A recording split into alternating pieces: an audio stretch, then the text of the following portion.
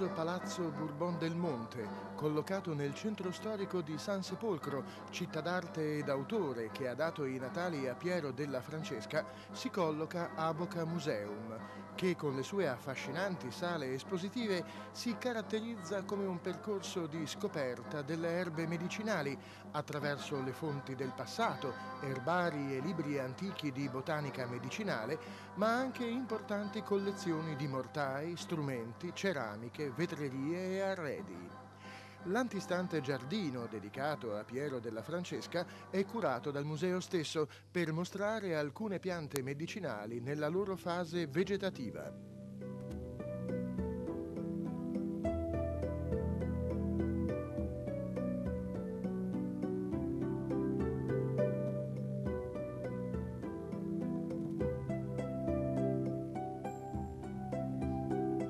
La prima e più importante sala del museo è dedicata al più antico e insostituibile strumento dello speziale, il mortaio. Frutto di non comuni abilità tecniche, spesso artisticamente lavorato, il mortaio ha da sempre forti valenze simboliche per l'arte farmaceutica. Comunemente in uso fino all'inizio del secolo XIX, si è subito dopo trasformato in un ricercato pezzo da esposizione per collezionisti d'arte e per laboratori e farmacie. I pezzi esposti nella sala, molti corredati dal relativo pestello, sono una scelta degli esemplari più significativi delle collezioni del museo.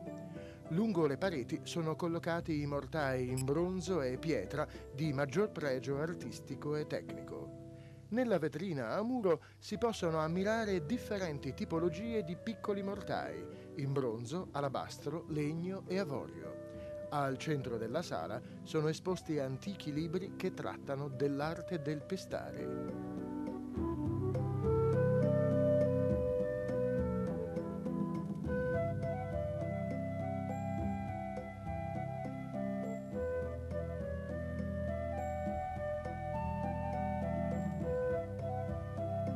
Dalla porta presso la finestra si accede alla saletta degli erbari, i testi che rappresentano la summa delle conoscenze botanico-medicinali del passato. Si entra qui pienamente nelle specificità del museo, le erbe salutari collocate nella loro dimensione storica. I pannelli della sala fanno da guida in questo viaggio temporale.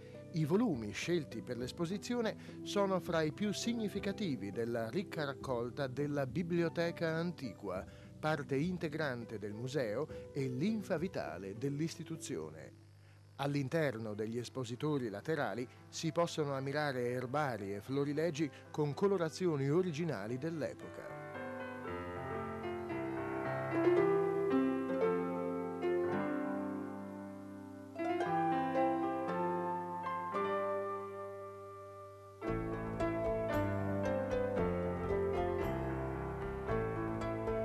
L'attigua saletta delle ceramiche ci mostra una tipologia di recipienti da farmacia che ha goduto nei secoli di forti valenze artistiche.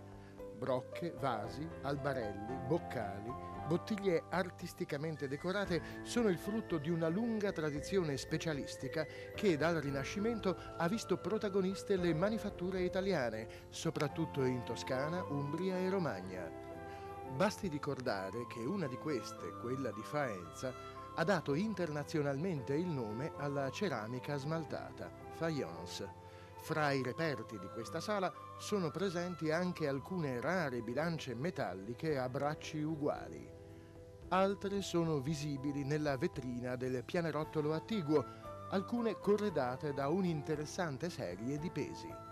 Da notare la serie di pesi impilabili con contenitore bronzeo artisticamente decorato.